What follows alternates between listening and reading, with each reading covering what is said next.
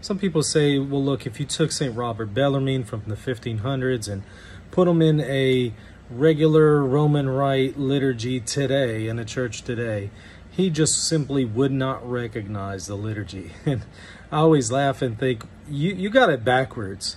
Take a Christian today from any rite and put them in a first century liturgy where they're celebrating the liturgy in the context of an agape feast, which is a meal, an actual meal, and they don't have developed rites. Put them in a first century liturgy, and they also probably won't recognize most things. And so it's just interesting if we use the thought experiment that way.